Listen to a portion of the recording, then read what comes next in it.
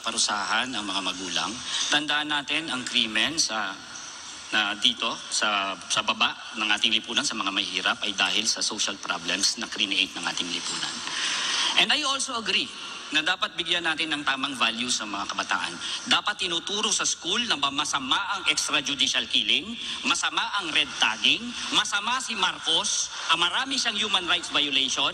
I disagree. Nung panahon, Okay. Ang We- I, I, I, I, I, I, He has I, the I, I, time am to I finish am my his time. I statement am and then we should I am not- my Attorney time. Gadon, I, you I, will I, have time it's for still my time. propaganda. You It's have still my time time. for It's still my time. interpolation. It's still my We time. should not use this It's as still my propaganda time. against the Marcos. It's still my time. It's still my time. Wala kang... We'll go back It's to still my Attorney time. Espiritu It's first still my to time. finish his Chuma, 20 It's still my time. seconds. It's still my Yeah. time. Don't don't be rude. Thank you. Attorney Espiritu, you have your 20 seconds left before Dapat- you were interrupted. Dapat tinuturuan natin ang kabataan na respetuhin ang buhay, ang human rights, respetuhin ang buhay ng lahat at hindi dapat pumapatay ang ating mga gobyerno. At hindi nagnanakaw ang ating gobyerno. Diyan tayo magkakaroon ng mga mabuting henerasyon ng kabataan. Agree Thank you. At, Attorney Gadon, you have 45 minutes for your interpellation. Yes. Yes, Attorney Gadon, you, you may now interpolate with Attorney Espiritu. 45 seconds. Yeah, ah, palagi na lang pinopoint out niya, palagi nilang sinasabi yung, ah, yung ah, human rights violations ni Marcos. Eh, unang-una, sino ba ang nagpapatay dun sa mga NPA na gustong sumurrender? Eh, di ba si Joma? Oh, eh, bakit ninyo sisihin si Marcos? Attorney pa. Espiritu, you have 30 seconds Sino for your bang bumomba sa Plaza Miranda? Yes. Ha? Sila Joma. Okay. I'll, Oh. go, I'll go by the Bakit record. nyo isisisi kay Marcos I yun? it's my time. He this is, time. we should not use this forum for a propaganda against the Marcoses. It was, it was Attorney, intended. yes. Attorney Gadon, your 45 seconds is over. We have 30 seconds for Attorney Espiritu's rebuttal. O, binuksan mo ang usapan, wag mo akong pagbawalan. I go by the record, Amnesty International, 3,257 ang pinatay nung panahon ni Marcos. 35,000 ang mga. It's my time, wag kang bastos. It's my time. 35,000. 30 Okay. 35,000 ang tinorture. 70,000 ang kinulong. It's a matter of record. Thank you. 30 seconds for rebuttal. Noong nagkaroon ng kaso sa Hawaii, yung 10,000 human rights victims, nung ini-implement nila dito, nag-file sila ng petition sa, sa ah, RTC, wala silang naipresentang ebidensya. Pagdating sa Court of Appeals, wala rin. So asan yung sinasabi nila yung human rights violations na yan?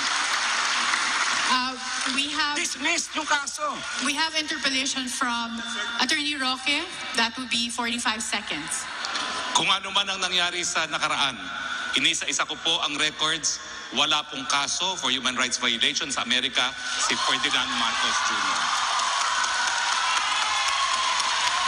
Inisa-isa ko rin po ang mga kaso na decided, decided po ng ating Philippine Supreme Court.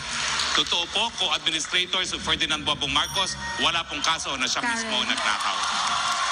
Can I have, Attorney Espiritu has 30 seconds for a rebuttal, and we have a question again yes, from Dr. thank you. Uh, with all You have you have the time. You have the Ah. opportunity, Attorney Espiritu, for a 30 second. My, my microphone is Yes. being uh, silenced all the time when I do my rebuttal.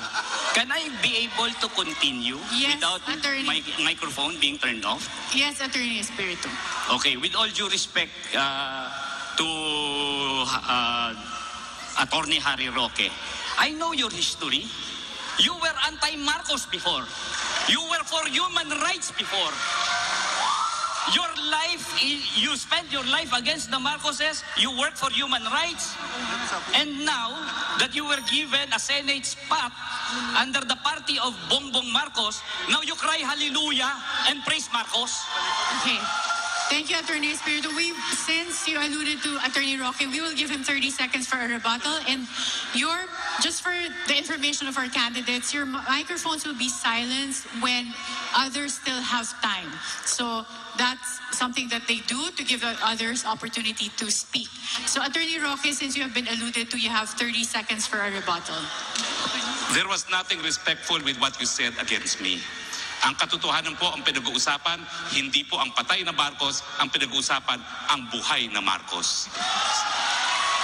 Sa akin po, panagutin ang mga nagkasala, Pero yung mga hindi po gumawa ng kahit anong kasalanan, wag po natin idamay sa sisi. Yun lang po. Okay. Now, we have. Yes. Before we, sorry, I've been I'm being spoken to by the floor director, so I'm getting confused. But let's go back to the question that was raised by Dr. Cardona, and now she's raising her hands um, for, I guess, a follow-up question. Yes, uh, it takes a topic on the children and then this is what happens.